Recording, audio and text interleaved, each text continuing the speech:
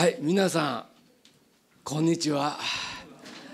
えー、本当にあのたくさんいらっしゃってちょっと私あの皆様を見渡してですね酸欠というかですね、えー、なんかあのポンプのない金魚鉢に飼われてる金魚のような感じもするんですけれども、まあ、これから約1時間ですね、えー、ご一緒に考えていきたいと思うんです。で今日のテーマは聖書と出会った勝と龍馬とその一族たちなんですがこのテーマのお話をするために私は先週の水曜日司馬遼太郎記念館というところに行ってきたのです。でこれはここから車で20分ぐらいで行きます。もう一見の価値ありますね。でこの司馬遼太郎記念館というのは司馬さんが住んでらっしゃった自宅の敷地の中に建ってるんですけれどもあの何が展示されてるかと言いますとね実は彼が小説を書くために集めた資料があるんです。でその資料が2万冊、えー、その記念館の中に、えー、入ってるんですけどねその本棚が11メートルあるんですよ。で11メートルといったら約4階なんです。でそこの記念館入ったらですね本棚見る時こうですよ。でまあこれねすごいなとすごいのはね単に集めてたんじゃなくて司馬さんはこの2万冊をね読破してでその上積み液のようなまあエッセンスのようなものを取り入れながら自分の歴史小説の中に生かしていくんですがこの記念館の隣の本宅彼がこの生活していらっしゃった、えー、本宅の方にはね別に4万冊あるんですよ。つまり司馬太郎はね6万冊の資料を読んでいたということなんですよね。で6万冊ってどれぐらいかを実感してもらうために2万冊見せてこれの3倍ですということを感じてもらうための、まあ、記念館でやるということなんですけれどもねこの司馬さんの小説って五十数点しかないんです。ということはね一つの小説書くのに彼はね1,200冊調べてるんですよ。これはねこれすごいですよ。でまあこの司馬さんの本宅の方行きましたらですねこの玄関のところにはもう下から上まで全部本棚だそうででこの廊下だけで46メートルあるそうです46メートルの廊下の右と左の両方の壁が全部書棚というね。でまあそういうものを読みながら、えー、小説を書いた。だからそこに行きますとねなんかこう司馬太郎の大脳の中に入ったようなねなんかそんな感じもするんですけれどもその書棚の隣に小さな劇場がありましてでそこに行きますと司馬遼太郎の肉声というか動画を見ることができます。そこで彼が何て言ってるかといったらなぜ私が小説家になったか特に歴史小説を書くようになったのかというそのきっかけの話してらっしゃるんですね。で彼は戦争末期の時に満州の戦車部隊として、まあ、中国に派遣されていました。ところがいよいよ戦争も末期になっていって本土防衛しなければならないんじゃないかという気配濃厚になった時に本国日本に呼び戻されて栃木県の基地にまあ駐屯することになるんですがその時にねどうもアメリカは本土特にいきなり東京上陸ということもありえるということででもし東京に米軍が入ってきた時に栃木の軍隊はすぐに南に向かってザーッと動かなきゃならないその作戦についての演習が始まったんです。でそこでね島さんがねもし米軍が東京に上陸したら我々は東京に向かって栃木から南下するけれど東京都民は北の方に向かって逃げてくるでしょう。そしたら幹線道路で軍隊と避難する国民が衝突しますよね。どうしたらいいんですか？と上官に聞いた時に上官が一言ね踏み潰していけって言ったそうです。でその時にねどうにもならないやるせなさというか失望というかナンセンスというかそしてねこの昭和の戦争の直前のリーダーの無能さ、まあ、彼はアホさというふうに言ってましたけどね日本人のリーダーってね昔からアホだっただろうかそんなことはないはずやと。少なくとも幕末から明治にかけての日本の指導者は立派な人たちがたくさんいたはずだ。というのは有名な歴史の学者にアーノルド・トインビーという人がいるんですでこの人物によりますとねトルコから東側の国々の中でヨーロッパの植民地にならなかった国っていうのは日本だけやってるんです。なんで日本だけヨーロッパ列強の植民地にならなかったのかその時の指導者たちが賢かったからだと。だから今の無能なものではなくて日本がもっと輝いていた時代幕末から明治ということでそこの歴史を掘ってみることによって我々日本人というのは一体何者なんだろうかということを知るために私は書き始めましたというような内容でだから彼の小説ってねいろんな時代がありますけれども幕末明治維新の人たちがすっごく多い。そしてこの明治ということを考えていった時に絶対に外せない彼の作品がいくつかあります。そのうちの一つはエッセイでね「明治という国家」という本があるんですよ。記念館行ったらその生原稿が置いてある万年筆って書きあった。もうミミズが凍ってるみたいなしこの点だけ一緒や思ってですね。すごい嬉しなったんですけどでこの本の中にね幕末の志士の中で幕府を倒した後の青写真持ってたのは坂本龍馬だけだって書いてあるんですよ。みんな260年続いた幕府が倒れるんだろうかいや倒さなければならないということでね幕府を倒すというところにゴール設定してるから実際に倒してみた後で国家の設計図がなかった。ところが坂本龍馬は幕府を倒した後のことまで見ていた読むことができていた。でもあの土佐の高知からやってきた龍馬がそんなふうに視野の広い広い人物になれたのは彼一人のせいではなく彼が勝海舟という触媒と出会ったからであると書いてあるんです。勝という人物との触媒で化学反応を起こして坂本龍馬というものが生まれてきたんだ。そして勝という人物は初めから先見性のある人物ではなくて勝天ディー家という人物との出会いが触媒となってあのカツを作ったんだって言うんですが皆さん勝天ディー家と聞いてもあんまりピンとこないんじゃないですか？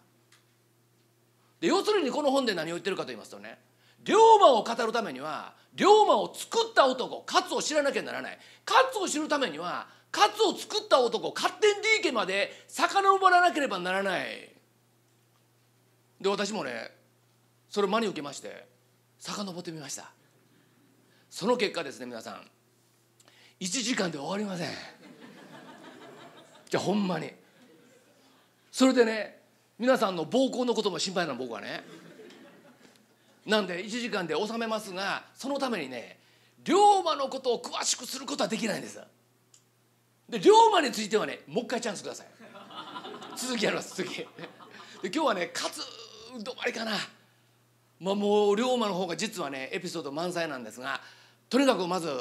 このお二人がどんな人であるのかということを紹介したいと思うんですよね。でこの勝って慎太郎じゃないですよ。あのもう分かってると思うけど勝海舟ねめちゃくちゃ貧しい家の人なんですよ。めちゃくちゃ貧しいんですけれども彼は実は剣術の名人で島田虎之助という人のところに預けられましてそこで剣術修行を一生懸命やることによってなんと21歳で免許改伝まで行くんです21歳にしても達人になるということなんですがところがこの島田という師匠がねこれからは刀振り回してるだけではどうにもならん時代になってしまった。この彼が免許改伝を受けた3年前にアヘン戦争が起こるんです。アヘン戦争というのはイギリスが中国清をぶっ倒すわけですけども皆さんその時の清の人口4億人ですよ。4億の清がねたった20隻のイギリス艦隊にボコボコにやられんねん。だからこれから日本を守っていこうと思ったら剣術がうまいだけではダメで西洋式軍艦や西洋式の砲術を学んでいかなければならないのでお前はこれから蘭学をやれってわけですよ。つまりオランダ語の勉強をやってオランダ語で書いてあるいろんな世界情勢の本を読んでいきなさいということで彼はそこから蘭学をやろうとするんですけれども外国の原書を読もうと思った時に絶対必要なものは辞書なんです。なねグーグルとかないんですよまあ、アプリとかないわけよねこれね辞書が必要だと。ところがですねこの時に乱和辞典オランダ語と日本語の辞典というのは辞書というのはあるんですけどもズーフ・ハルマと言いましてね全58巻。でこれがね60両するんです。この時の1両が12万円です。だから辞書揃えようと思ったら720万円です。勝海舟の家めちゃくちゃ貧乏。どれぐらい貧乏かってその話をめちゃくちゃ長く書いてあるんですけどもうある時で寒くて寒くてもあまりにも寒いのでね天井板剥がして家の中で燃やしたというそういう話のことやもっと寒いんちゃうそれ。家の中から空見えたって書いてあるの。でそんな人が720万円もする辞書どうやってね買いますか？辞書がなかったら勉強できへんと。である時その辞書を持ってる人がどこに住んでるかが分かったので彼はそこに行って交渉するんですよね。で1年間貸してください順繰りに。もし1年間貸してくださったら仮賃として10両払います。6、えー、120万円。ただしその120万円10両は後払いにしてくださいということでね1年間彼は移すんですよずっと。で移した時にね2部移すんです。で一部は自分の辞書にしてもう一部は10両で誰かに売るんですよ。その10両で返すつもりが実は彼の蘭学の先生が30両で買ってくるんですよね。助かる！まあアイデアというかアイデアはあってもねやる！だけどこれが彼の語彙力を飛躍的に上げるんですよ。他の蘭学者が知らないような単語が書くことによって全部頭に入ってる。そして28歳にしまして独立しまして彼が塾長を務める蘭学塾を始めるんですけれども彼が30歳になっていった時にあの事件がやってくるんです。1853年。嫌でござんすペリーさん。黒船ですよ。まあ皆さん今皇居の周り江戸城ですよね。皇居の周りっていうのはね全部地面でしょ。だけど江戸時代は皇居のすぐ後ろは江戸湾です。あれ埋め立てられて地面になってるけど昔は江戸城を登って天守閣ふっと後ろ振り向いたら海なんですその江戸城の天守閣の近くまで蒸気船がやってきてアームストロング砲でドカーンドカーンドカーンたまたまアメリカの独立記念日と重なってる。自分の国の独立記念日を言うのは当然だという言い方で猛烈な爆裂音を鳴らしながら脅すんですがその時に江戸城の、まあ、徳川幕府の重鎮たちはどうしていいかわからないでみんなで集まっていろいろ話し合うんですけどこの解剖策どうやったらいいのか防衛のためにどうやったらいいのかとなんぼ話してもわからないのでこれは外部の意見も取り入れた方がいいぞそこで聞いてみようというふうに問われた人の中に勝海舟がいたんですよ。でこの時幕府にね700通の解決書アドバイスの文書が届くんですが勝の意見書がね抜群。非常に具体的で実践的で有効で読んだ人みんな感動。どれぐらい感動したかといったら老中の安倍が感動するの。安倍っていうのは島津成明らの親友ですよ。こいつ何者やと。こんな男が江戸の市中におったんかいということで彼は33歳にして初めて幕府の役人になれたんですさあその意見書の通りに動いていくんですよね。まあ、彼は幕府の中に取り入れられてからですねすぐにね「お前長崎行ってこい」って言うんです。で長崎で何があるかと言いましたらそこでね長崎海軍伝習所といいましてオランダ政府の協力でヨーロッパで作られた軍艦を日本に持ってきてもらってそしてヨーロッパの軍艦のその操縦の仕方を勉強するための特訓所これが長崎伝習所って言うんです。長崎海軍伝習所って言うんですけれどもそこに日本国もう全国から、えー、秀才たちが集まってくるんですけどもね勝は最初から艦長候補として行くんです。で授業は全部オランダから来た海軍上官たちがプロが教えてくれるんですがつまりこの伝習所での授業は全部オランダ語なんです。生徒たちはみんな集まってるんだけどオランダ語分からへんから通訳おれへんかったらどうしようもならない。ところが勝は通訳なしで教師が言ってることが全部分かるんです。そしたら教師はみんな勝を頼りにするんですよね。でその最初の教師の中にペレス・レイケンという人がおったんですね。でこのペレス・レイケンという教師団の団長がクリスチャンだったんです。暇見つけては勝に対して一緒に散歩行こうぜ。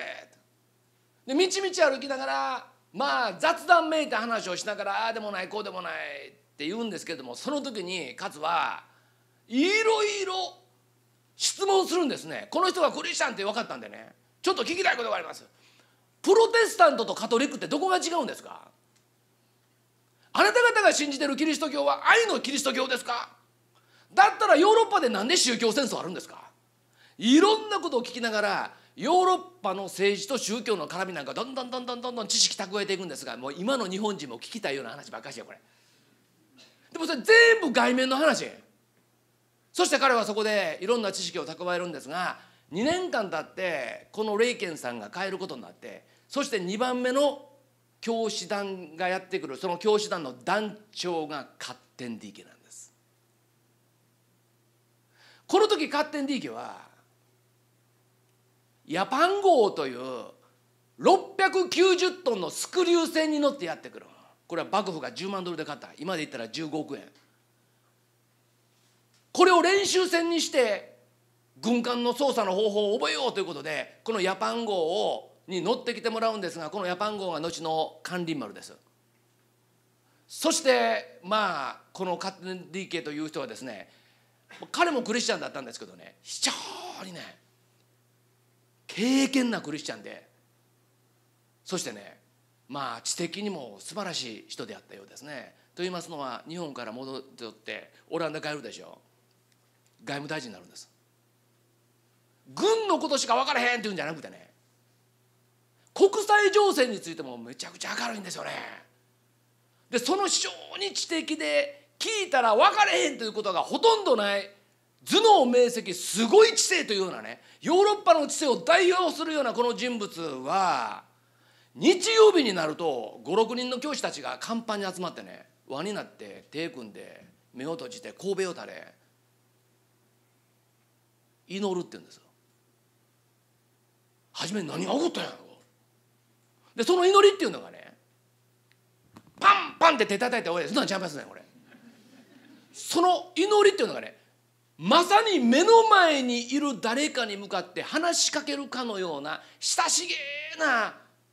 人格的な交流というか本当にそこにいる方に対してお話ししているようなそのような祈り。でそれが終わるとねみんなでね歌うだ明日にかける橋は歌わないと思うんですね。なんかみんなで歌う。歌ってた時に初めねお軍歌かと思ったらオランダ語分かったんですね。勝は。でよく聞いてるとこれは賛美歌でやるということが分かるんですよ。つまりねオランダ語で神を称える歌を歌ってる。でその内容にあまりにも感動した勝海舟はなんとそれを日本語に翻訳します。実はねオランダ語外国語で作られた賛美歌を日本語に最初に翻訳した日本人は勝海舟です。音楽辞典に書いたんで彼はですねこの「カッテンディーケ」とはねいわゆるね政治がどうの経済がどうのそそんな話じゃなくてねもう実在している神をあなたは信じてるのか。その彼らのその創造主キリストに対するその信頼の仕方を見た時にね憧れのようなものを感じるんですね。さあ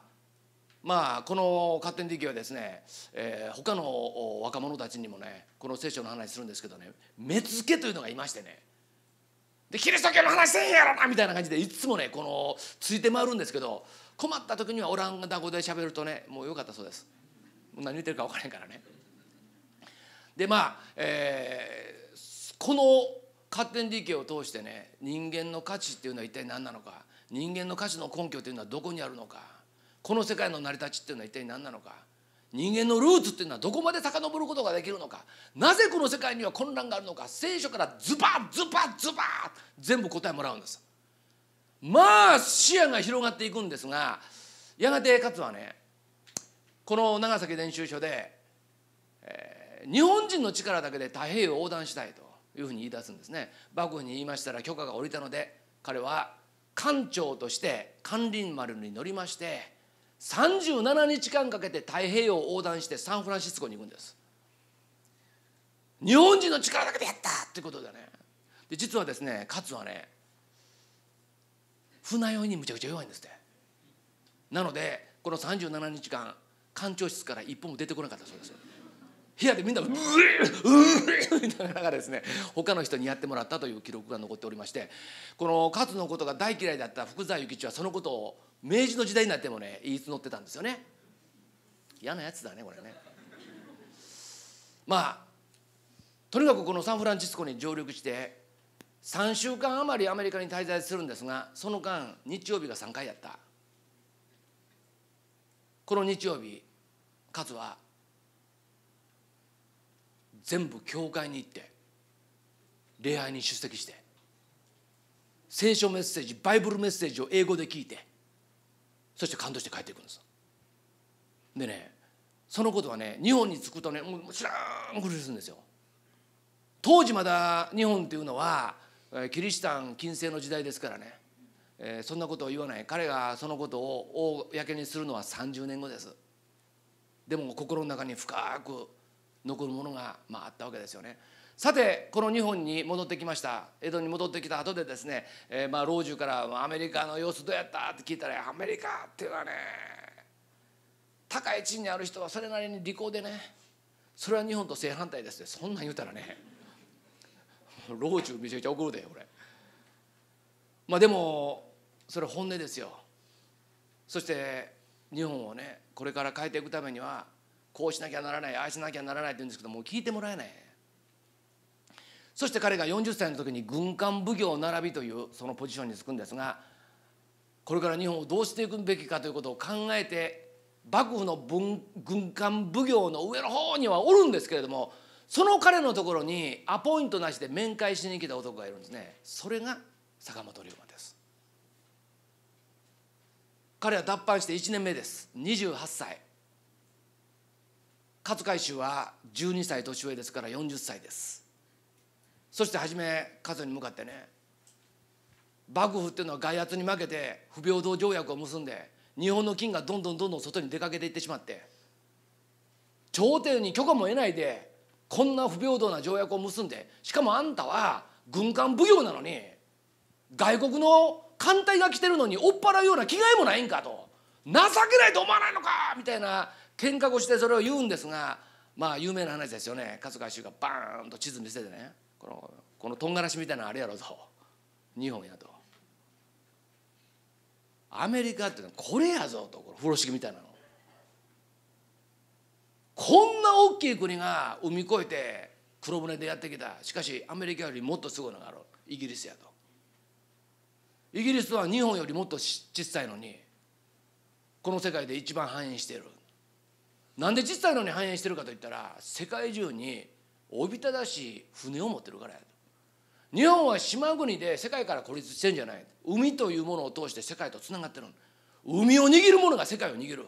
だから日本がどうしたらいいかといったら200から300の艦隊作ることやと。金がないっていうんだったらその船を使って貿易して後で回収したらいい。先に物をもらってそれで動かすんだ。みたいな話をどんどんどんどん続けてるうちにですね初めクラーって言ってた龍馬が心変わっていくんですよね。そしてその日のうちに「弟子にしてください!」っつってね。まあ氷川清和という、えー、本の中にですねなかなかあいつは気持ちのいい男よってね書いてました。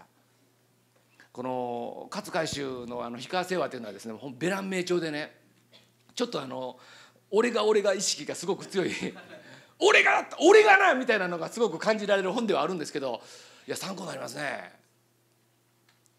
そして龍馬はその日のうちに乙女姉さんに手紙書いてます。私は日の本一の勝林太郎という大先生のお弟子になりました。ラリホーみたいな感じ。嬉しいね。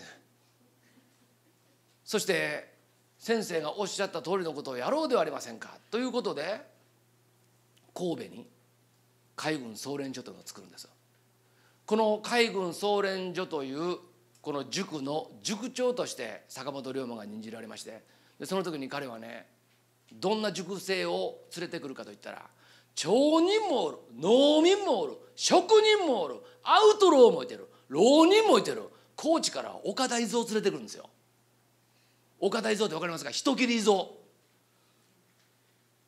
もうとにかくねやる気のあるやつみんな来い。岡田伊蔵やる気ないね。だけどお前お前ここおったらえらいことになるこっち来いいうことでね。まあこの時に龍馬がまあ人生の中でね一番充実していた時間じゃないですかね。大きな大きな船をね幕府の金で買ってきて幕府を倒すための技量をここで身につけるってこんな面白いことないぞと。いうことで彼はそこでこの仲間たちと一緒に明日の日本を築いていくんだということで神戸総連所で訓練をするんですがこの総連所は1年で閉鎖になるんです。実は1864年この総連所やってる時にですね大事件が起こるんですよね。その事件というのは何かと言いますと池田屋事件と言います。池田屋というのは京都の旅籠というか旅館なんですがそこの旅館に幕末の志士たちが集まってた約30人。でこの当時ねまあ約10年ぐらい経ってますよね。不平等条約を結ばれて10年経ってもう日本の中にはですね不満がいっぱいでですね皆さん日本ってね世界で一番たくさん金が取れる国だったんですよ。金っていうのはねどこで取れるかといったらね火山地帯で取れるんです日本ってどこ掘っても温泉あるじゃない。北田辺でもあるよ。どこ掘っても温泉がある地震がある物騒なところや。しかし火山帯に金が集中してできるんですで実は今まで人類が掘り当てた金の総量は分かりやすく言いますとオリンピックプールオリンピックの競泳プールで3倍分ですそのうちの1杯分が日本だけにあったんです。つまり日本っていうのはね南アフリカなんか目じゃない。世界最大の金庫を持ってたのが日本ですよ。ところがこの幕末の時に金がすっからかんなるなんですっからかんなるかといったら金と銀のこの交換比率が世界とかけ離れて不利だったんですよ。不利なままでレートを固定された条約を結んでしまったので日本中の金が全部出ていったんですよ。こんな不平等なことをされてこんな屈辱的なことをされて幕府は腰抜けかと尊皇攘夷すべきだということでまあこの機運が盛り上がってたんですけれどもこの事件この段階でですね日本で一番外国なんか武力で追っ払えばいいというふうに主張していた藩が長州藩という藩なんですよ。この長州藩というのはねめちゃくちゃ過激ですよ。で日本を尊皇攘夷でビシッとまとめるために一番手っ取り早い方法は何かといったら天皇に尊皇攘夷で突撃しろというふうに御事のりを出していただくことである。じゃあ天皇に長州藩が思っているビジョン通りの御事のりを出してもらうためにはすなわち天皇に言うことを聞いてもらうためにはどうしたらいいのかまあ朝廷の中で長州藩はいろんな工作活動をするんですけどね最終的にね天皇に言うことを聞いてもらうために天皇を誘拐して長州まで連れていくという案まで出てくるんですよ。もうねもう過激通り越してねそそういう班だって吉田松陰から来てるからもう好きですけどね私もあの人ね。好きやけどちょっとついていけません。でねこの時に池田屋という旅館で30人の志士たちが集まってそこでまあどうやって長州のビジョンを実現しようかということをやってた時にいきなり踏み込んで9人殺されます。京都の治安部隊が踏み込んで9人殺されて20人は逮捕される。この踏み込んだ部隊が新選組です近藤勇。土方歳三。沖田総司。この新選組のスポンサーが会津藩です。でこの殺された9人の中に神戸総連所のメンバーが入ってたんですよ。つまりね「尊王攘夷だ!」と言って超過激思想の中に勝海舟が責任を持ってる神戸総連所のそのメンバーがいるということはね勝はね幕府を倒すための連中にそんなことを教えてるのかということでそれで閉鎖されてしまうわけですよね。さあここから時代がどんどんどんどんと進んでいきます。この池田屋の後でですね、えー、これはこの、えー、幕府としてはね長州藩をぶっ潰す絶好のチャンスでやるというふうに考えます。それで、えー、この天皇を誘拐しようというようなことまでも考える極悪集団であるというレッテル貼りをしましてこれは名誉毀損であろうと朝敵のレッテルを払えたということでこのレッテルをもう一度ひっくり返すために長州藩は一か八かの大博打に出るんですね。でこれをね「はまぐり御門の変伝」です。これどういうことかと言いましたらですね天皇っていうのはいう方はですね御所から一歩も出なかったその当時。でその御所の周りを盛況な長州軍でぐるっと取り囲んでで御所の中に入っていって天皇がおられる周りを長州軍で固めて言うことを聞いてくれますよねと言えば言うことを聞かざるを得ないだろうという発想です。それでねまあ先遣隊がバーン入っていくんですよね草加遣隋ですか。で守ってたのが会津ですよ2,000対2万2,000の方が長州です長州が勝つんです。ものすごい勇敢。そして御所の中に入っちゃう。そしてもう天皇のおられるところまでもうあと一歩という時に隣から別の軍隊がやってきて立ちはだかるんです。それが最後の薩摩軍でした。もうあと一歩のところでたどり着けたのにもかかわらず薩摩がやってきた。そしてそこで戦争になりまして長州はもう大惨敗しそのまま長州に帰っていくんですが帰る時に追いかけられないようにするために京都に火をつけながら帰ったんです。なので京都は3日3晩火事です。ようやくのことで長州出発点にたどり着いたら今度はね外国艦隊が下関に砲撃始めたんですよ。泣きっ面に走りなんで外国艦隊が下関に攻撃するのか。1年前に馬漢海峡を通過する外国の船に長州の方から大砲を撃ったからです。1年後に仕返しされたんですよね。イギリスフランスアメリカオランダの4カ国連合が、えー、長州を攻撃しましてで下関がボロボロになって。でこれはね長州藩をぶっ潰す絶好のチャンスでしょ。この絶好のチャンスを逃すなということで長州を討伐するための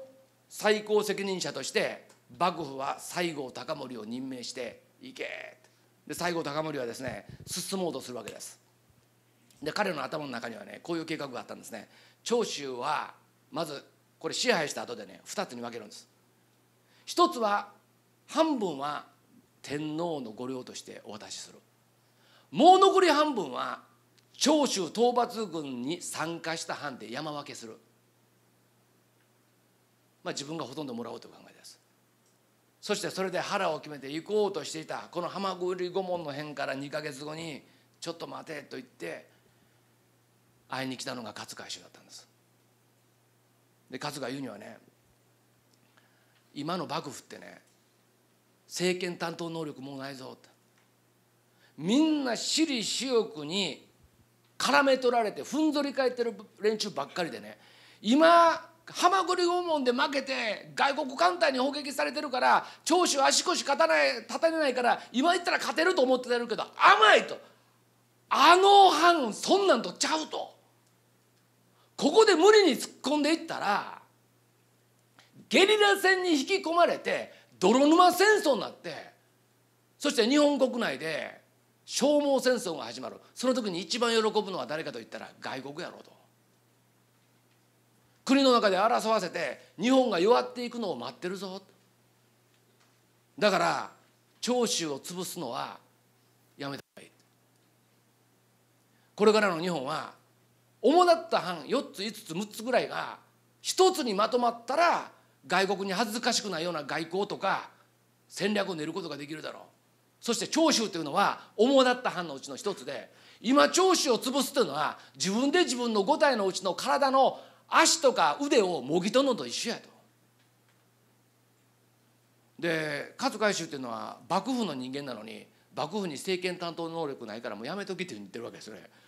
でそれ聞いた時に西郷隆盛はねこの人ねひどく惚れ申し候って言っててね大久保に手紙を書いてますよね。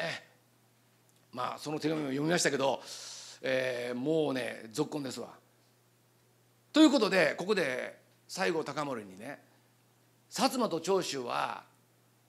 同盟を結んだら幕府倒せるぞというアイデアを注入したのはこれは勝海舟なんですけどこれね理論で分かるというのと実際実行するというのは別なんですよ。でね、えー、まあね薩摩は長州大嫌いで長州も薩摩のこと大嫌いでこの権限の中である薩摩と長州をね結んだら明治維新はなる。結ばなかったら明治維新は来ない。だから結ぶべきだ。理論では分かるんですがそれができないのをできるようにしたのが坂本龍馬です。で彼はどういうふうにしたかと言いましたらこの長州のトップにまあ代表にね木戸孝允って言ってるんですよね。まあ桂小五郎ですよ。でこの木戸にですねもうすぐ幕府軍が36班合同で長州に攻めてくる。その時に長州は今やったら負けるで。だって武器ないもん。でもあの連合軍に勝とうと思ったら一つだけ方法がある。それはイギリス式の新兵器を大量に購入してそれを使うことやと。旧式武器でなんぼ固められていても新兵器を持って戦略的に使ったら勝てる。これ以外に長州が勝つ道はないところが長州は幕府と対立しそして金門の変以降ですね天皇に弓を引いたということになってますからこれ取り決めでね外国はどこも長州に武器売ってくれないんですよ。だこのままだとお前死ぬぞっていうことですよね。俺のとこに武器を売ってくれる国ないんだと言った時に龍馬がね方法あると。俺実は会社作ってんと亀山社長っていうんですよ。この亀山社長というのはですね日本最初のカンパニー株式会社でこの亀山社長が薩摩の名義でイギリスから新兵器を買いそしてそれを長州に売り長州は亀山社長に金振り込んでほんなら長州は見たくもない薩摩の顔見なくても済むし金だけ取って武器渡さないということもありえないしこの間に勝者をかますことによって嫌なやつを見ないで一番欲しいものをもらえるでしょ。ええ方法やと。だからそのついでにもう一個と。実は薩摩は長州を助けたということ分かったら幕府を裏切ったことになるからやがて幕府は薩摩にもプレッシャーかけるだろう。そのために薩摩は兵糧を必要としている。米がいる。しかし薩摩は芋はあるけど米はない。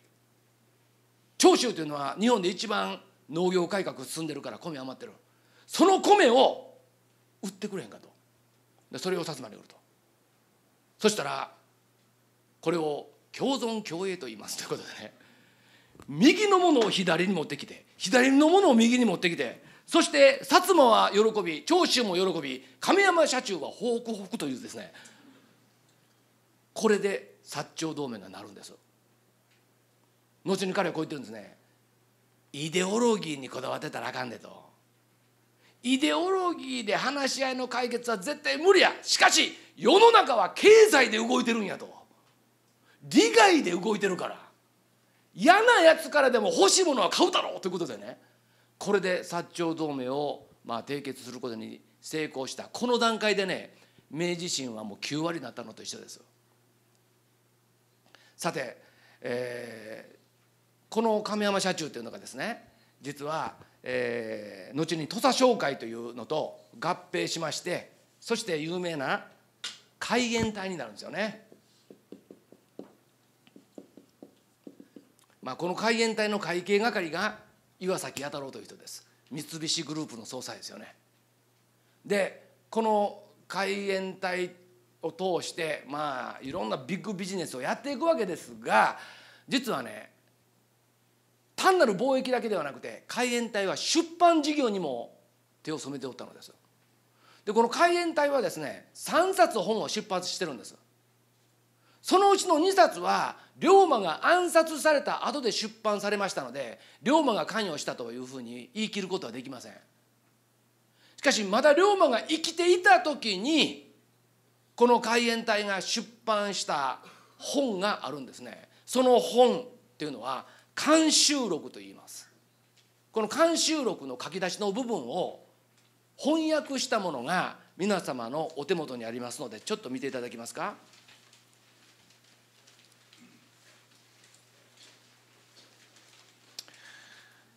プログラムの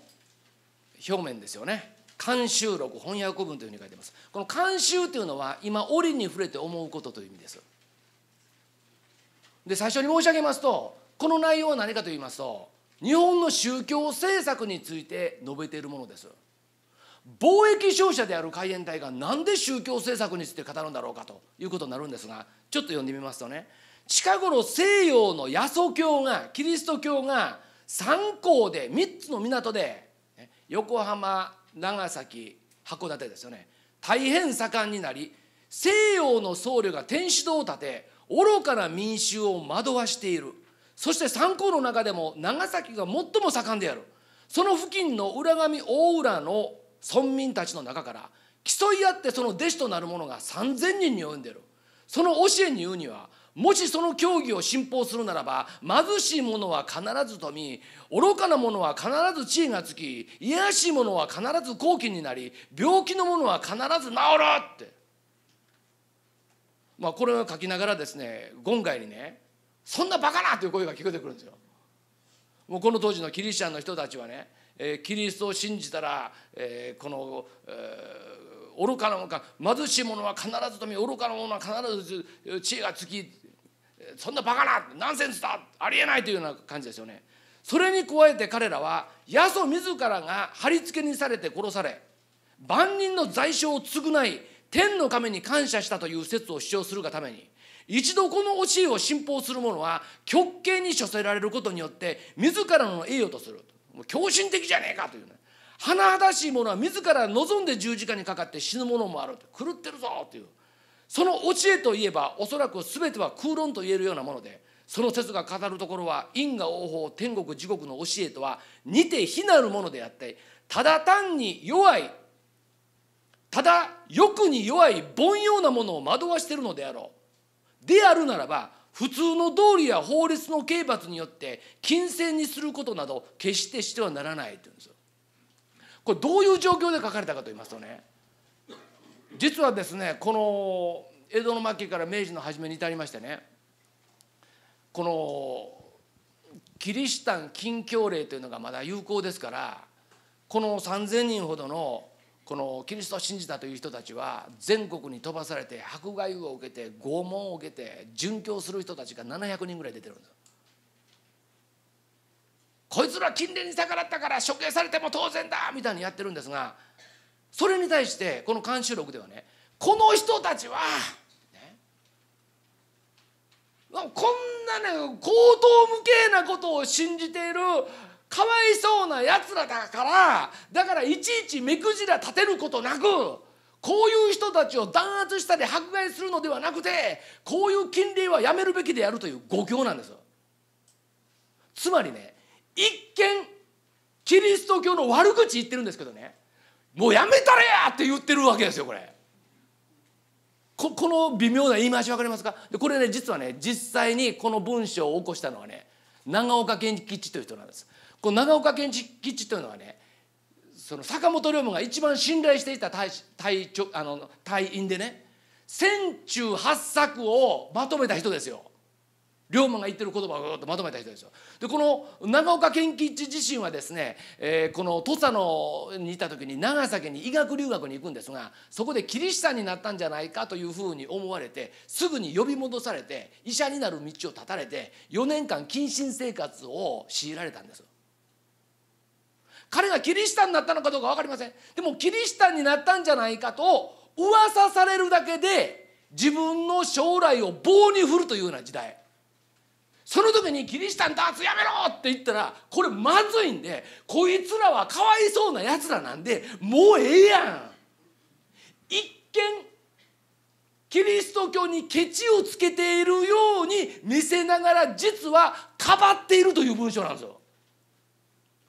じゃあなんで海援隊がこのキリスト信仰をかばうんですか？実はね坂本龍馬という人はね聖書を読んでる人なんですよ。いつ読んだかといったら土佐にいる間にすでに読んでたのです坂本龍馬にはねお姉さんがいましたね。有名なのは乙女姉さん、ね、女子プロレスラーみたいな人ですよ、ね、だけども一番年下のお姉さんが乙女姉さんで一番上のお姉さんに千鶴というお姉さんがいるのですこの千鶴というお姉さんは高松純三という儒学者のもとに嫁ぐんですこの高松純三という人は家で塾を開いて師匠愚形っていましてですねこのさまざまな、えー、孟子の教えなんかを教えてるんですけれどもそこでね儒学者なのに論語をしているだけじゃなくてね漢文で書かれた福音書を使ってるんですよ。で実はこの高松純三のことを坂本龍馬は大好きで若い頃彼の家に入り浸ってるのです同じように弟子になってる人の中に長岡慎太郎がいますが彼らは子どもの頃に高松から漢訳聖書中国語で書かれてる聖書の解き明かしをずっと聞きながら育ってきた人たちなんですそして何よりもね龍馬が指示した勝海舟自身が聖書に対しては非常に好意的だったんですね。だからね悪口を書かなかったと。いうことなんですね。でねここから龍馬行きたいんですけどねもうねダメなんですこれ今日 もう、ね、ちょっとね数にもっぺんもうだってあと15分しかないからね困った思いながら今話してるわけですね。さて、えー、どうしようでねもう明治に入りました。もう明治入りもうね龍馬の暗殺のことも申し上げたかったんですがあのまあ、一言だけね坂本龍馬暗殺したのは誰かって今分かってます？見回り組。でそこの隊長で佐々木忠三郎という人がいますが彼のお兄さんは手塩木です。手塩木さんというのは会津藩の家老です。最近出てきた資料で実は龍馬を暗殺命令したのは松平片盛であるという資料が出てきてんですよね。もう龍馬の暗殺犯についてはいろんな説があってすごいのになって言ったらフリーメイソンってなんでやねんと。じゃあほんまに。合図です。まあちょっとそれは置いときましてね。もう明治になったんですいいですか？明治になりましたね。明治になった時に実は勝海舟はちょっと明治政府から距離取るんですよね。なんで距離を取るかと言いましたら龍馬や他の人たちが夢見ていたようなそういうこの身分とか出身藩とかそういうことにこだわらずに能力がある者は誰でもチャンスがあるというそういう政治や国づくりを考えておったんですけど結局明治政府のメンバーっていった薩長都比の勝ち組の中で政権回すだけなんですよ。こんな中途半端な妥協してる明治政府に協力するのはクソこらえだっていうようなところがあったんでしょうね。それで西郷隆盛があんまり言うからじゃあやるかいうことやるんですけど一つでやめるとかね3回続くんですそれが。で結局彼はですね明治政府から距離を置きまして東京の赤坂氷川町というところに大きな土地を買ってそこに邸宅を建ててご意見番みたいなこと言うんですよ。でそうこうしてる時ですね明治8年ぐらいの時ねあるアメリカ人の一家が陳情に行くんですもう彼のところにいろんな相談事がやってくるんですけれどもそのアメリカ人一家というのがねホイットニーという一家なんですでこのホイットニーっていうのはですね、えー、実はアメリカで商業学校簿記学校の校長先生してたしてたんですけれども学校経営がどうもうまくいかないなと思っていた時に日本から招聘があったんですね。日本最初の文部大臣で森有則という人がいます。この人が商業工業商法講義所という学校を作るからそのために教えに来てくれということで雇うんです。この商法講義所が今の一橋大学です。それでホイットニーさんは奥さんアンナさんとそして3人の子供ねえー、ウィリスクララそしてもう一人女の子、えー、5人で来るんですがアメリカにいた時の条件と日本に着いた時の条件が全然違って実はホイットニーさんは森さんと教育方針で対立してあんたそんなんやったらもうやってもらんでええわいうことで教師の口も解雇されちゃうんですもう家財道具全部売り払ってね日本にやってきて日本に知り合い全然いてない。しかも当てにしていた職業からはあんたは採用しませんということで困って。どんどんどんどん蓄えが底をついてきて困ったという時にこのホイットニー夫人がですね、えー、この通訳付きで、えー、勝海舟の家に来るんですね。で勝はその球場を聞きましてで実はその商法国技者にねわしは1,000円寄付したんやと。大口の寄付やと。大口の寄付やから寄付金の使い方については口出しができるんやと。でこの1,000円のうち500円はこの一家のために使えというふうに言うとくわ言ってね。今のお金にしたら数百万円ですよ。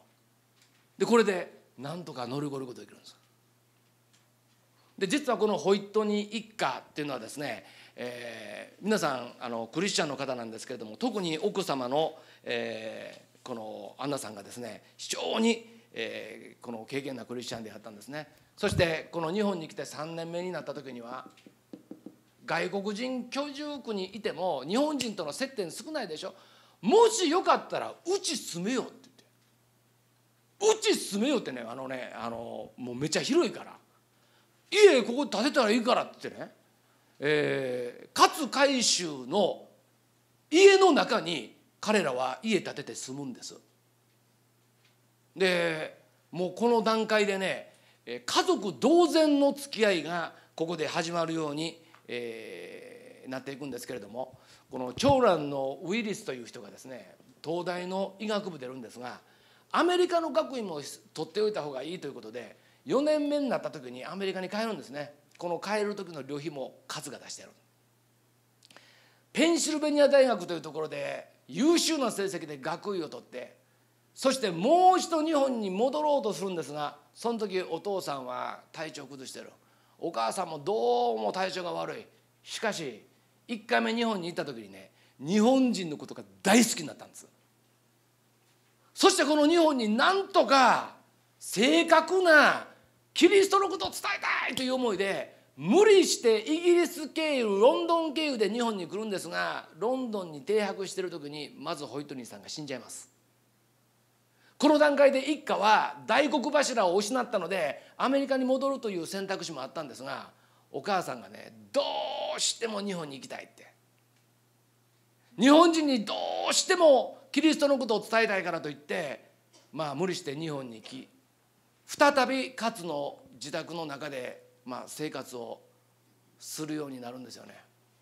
実はこのお母さんはですねがんだったんです。もうどんどんどんどん体調を崩してねもう最後はモルヒネを入れても痛みが引かないという状態だったんですがこのね死そのものに対する恐れが全然ないんですって。痛みは痛いんです。でも自分は死んだらどこに行くのか。鍛錬によって死の恐怖を乗り越えたってんじゃなくてね。私には希望がある。私の命は死んでも必ずキリストのもとに天国に帰ることができるという。でそのやり取りや立ち居振る舞いを同じ敷地の中の数が見ていく中でどんどんどんどんその生き方に惹かれていくようになるんですよ。このお母さんが亡くなった後ですねウイルスは、えー、勝の許可を得てね敷地に教会建てていいですか？と OK 教会と病院建てるんですよ。そしてますます聖書のメッセージを彼はこの聞くようになるんですけどこのお母さんが亡くなった翌年にね勝は突然、えー、思いついたようにですね西郷隆盛を忍ぶ歌というものを、えー、大きな板に板といいますか石の板に掘りましてね掘らせてそれを自費で自分のふるさとである葛飾に建てるんですね。でその中身っていうのはですねどんなあの文文章であるかといいますとちょっと私なりに翻訳したんですけれどもこんな文章ですね。慶応戊辰の春君は大軍を率いて江戸に迫った人心は不安に陥り市民は大混乱に陥った。それを憂えた私は手紙を君の陣営に託した。君はそれを受け入れて命令を下し進軍をやめた。君は江戸百万の民衆を苦しみから救ったのだ。君よ君ほど私を理解してくれる者はいない。そして私以上に君をよく理解する者はこの世にはいないっていうね。それを突然書くんです。これはあのもちろん江戸無血会場のことを歌ってるんですがえー、あの時西郷が引き返さなかったら江戸は火の海になっていた。日本は外国に攻められていた。そして、えー、明治はもっと別の形を遂げていた。でこのこと自体は誰もこの否定することできないんですがこの段階で西郷っていうのはね西南戦争をやりましたからもう反政府主義者のレッテル払えて極悪人なんです極悪人なんだけどもでも本当の西郷のやったことの意味を私は知ってるのにそれを黙ったままでは折れない！ということでそれを書くんですがそれを触発させたのがねこのホイットニー夫人なんです結局ね一般の日本人はキリストは十字架にかかって死んだ。失敗した宗教者であろう弱々しいものであろう。所詮処刑されて死んでおしまいじゃないか。という。みんなそういう間違った理解であるけれども真相を知っている。何のために十字架にかかったのか。そして死んで終わりではなくてよみがえったのだ。ということを知らないままで表面的な理解で終わってる時に何としても本物のことを伝えたいと思って来たあのホイットニー夫人それに触発されてね最後の名誉回復のために動くんですよね。そしてね彼がもう亡くなる直前なんですけれども、えー、実はですねこの勝の、えー、ところにアメリカからニーダムという伝道者が来るんです。でこのニーダムという伝道者を通して聖書の話を通訳付きで聞くんですよね。その聖書の福音というのは一体何かと言いますとちょっと裏裏のページ見てくださいますか？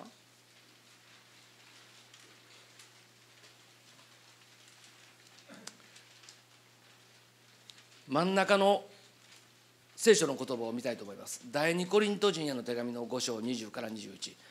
こういうわけで私たちはキリストの施設なのです。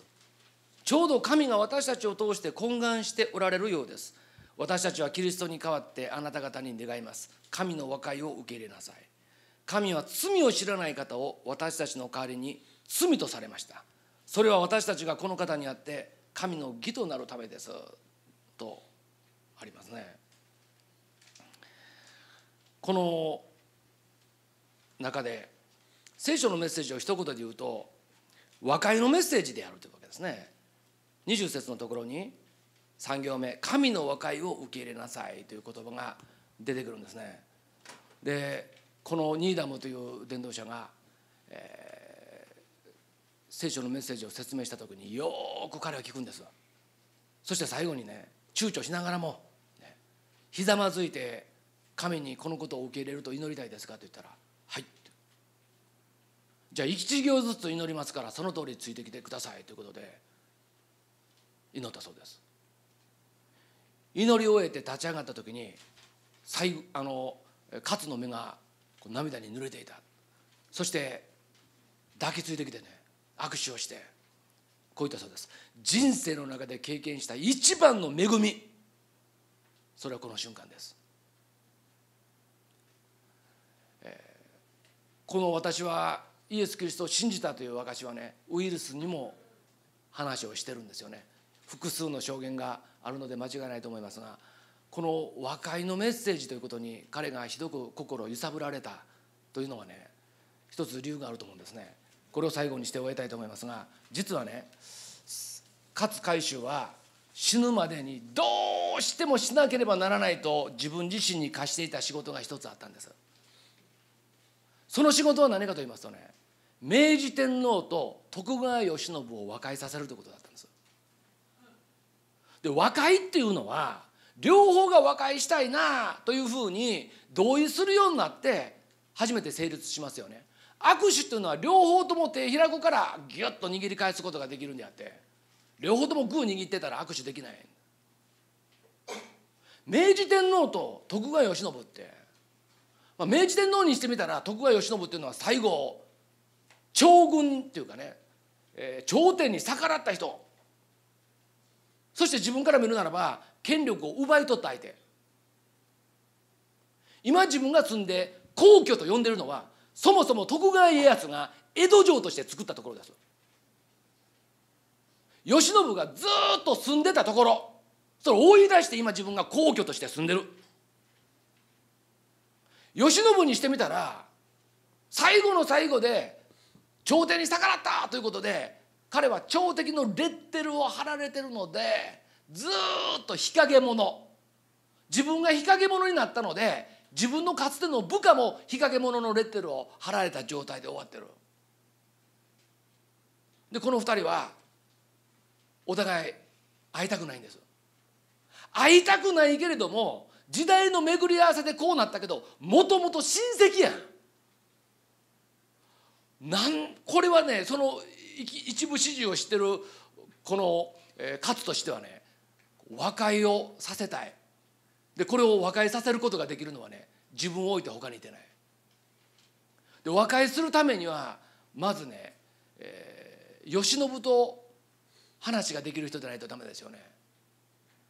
えー、まあ最後の最後まで彼を守るために幕臣として活躍したのが勝ですからね、えー勝の言うことだったら徳川慶喜は聞くんです。でじゃあ明治天皇はどうかというと明治天皇もねあのまあ即位されたのが16歳なんですけど今の年齢の感情の仕方だったらね14歳で天皇だったんですよ。中2ですよ。中2で明治天皇って大変やと思いますよこれだから実際にはね西郷大久保木戸というねもう大立役者と共に歩んで進んでいったということですよね。でもそういう人たちはこの時もうすでにいないんですが、えー、勝はこの3人のことをよく知ってるんです。そして今の明治政府の元君と言われて偉い人になってるっていうのはですね、えー、この明治の時にねペーペーやその時に勝は彼らのことを知ってるわけですよね。なので明治政府も勝に対してはね一目置いてるし明治天皇も勝の言うことは耳を傾けるんですね。この慶喜も聞く。そして明治天皇の方も認めてくれるということで両者に声をかけることができるという立場を持ってるのは自分しかいないということで奔走しましてそしてこれが実現します。えー、結局ですね、えー、この皇居にね呼ばれます徳川慶喜がですね、えーこの正体をこの明治31年の3月2日であったと思いますが、えー、この呼ばれましてですねそこで初めて和解するんですね。でこの和解しましたということを公式に発表した後でね非公式に明治天皇がこの徳川慶喜を誘ってねこたつのあるお部屋に行ったというんですそして天皇皇后と慶喜が同じこたつに入ったとみかんを剥いたとは書いてませんよ。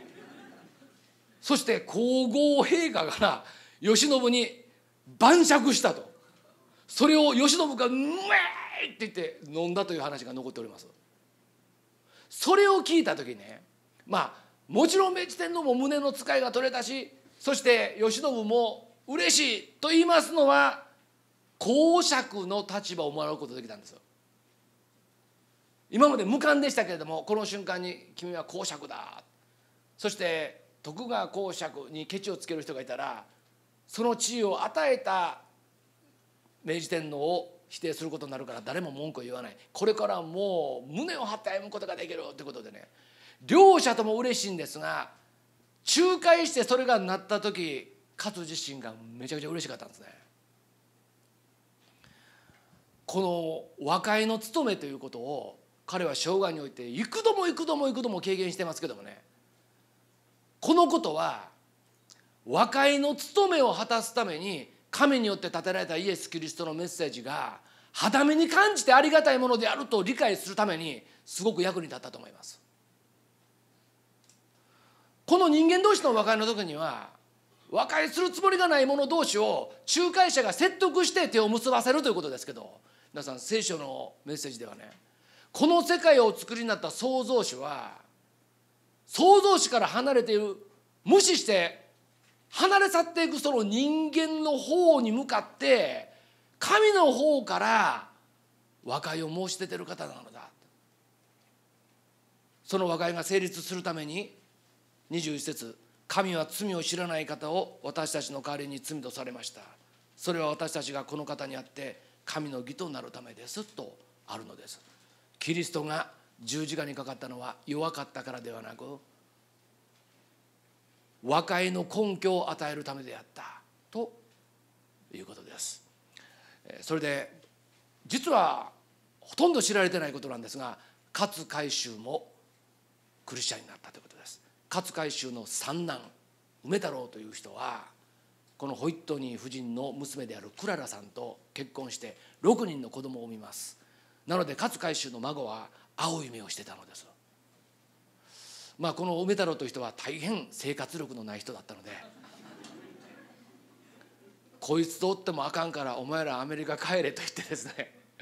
アメリカに帰った彼らに仕送りをしていたのが勝海舟だというふうに言われてますね。まあ、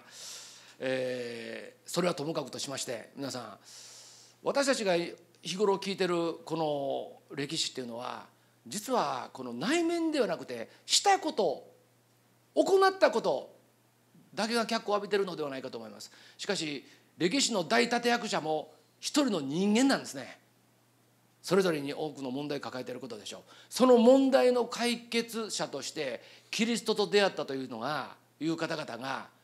日本の中にも本当にたくさんいるのです。多くの問題を解決した人も自分の個人の人生の中で解決できない問題があります。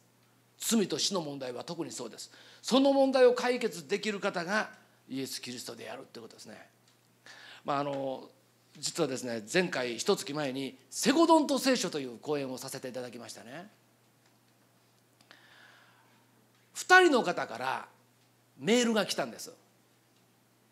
で1人の方は自分のひいおばあさんの女学校時代の入学写真をデータで送ってくれたのです。そのひいおばあさんの入学した学校というのは神戸英和学校という学校でした。現在の神戸女学院なのです。この神戸女学院前身はミッションスクールで宣教師が建てた学校なんですがこのおばあちゃまの隣に座っている人が西郷隆盛の孫だというのです。ええー、そしてしばらくしまして同じ写真がまた送られてきたんですね。また別の人ですよ。でこの方によりますと実は神戸英和学校の校則というか校税というかモットーは愛心愛倫だってんです西郷隆盛の大好きな四字熟語は経典愛人だと。そして実はこの2つは同じだというのです。つまりあなたの作り主である神を愛しあなたの隣人を自分自身と同じように愛しなさいというのは